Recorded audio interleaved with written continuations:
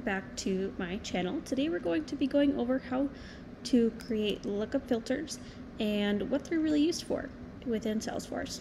So I'm on the contact page for Rose Gonzalez and we are going to create a lookup filter between the contact and the account. So a use case of this is if a user was having trouble finding the um, the account associated with the contact that they were creating. So what we'd want to do is create a lookup filter between the contact and the account to only pull up the accounts owned by the user that is creating the contact. So that way they can only show the ones that they need if they are the ones creating the contact. So let's go ahead and jump into a setup and go to edit object. It's a little bit of a shortcut.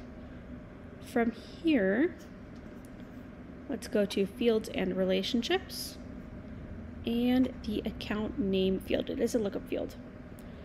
As you can see here, there's no lookup filter. So let's add one. Go to edit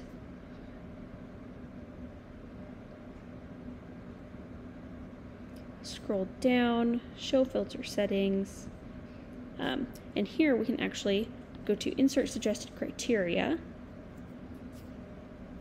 and they actually have this particular use case as a suggested filter criteria. So it would be account name, the owner ID matches the contact owner ID.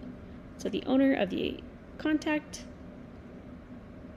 will be able to choose all the accounts that they own and they won't be able to see the other ones. So I'm going to click Save. We have a lookup filter. It is active. Refresh Rose Gonzalez's page.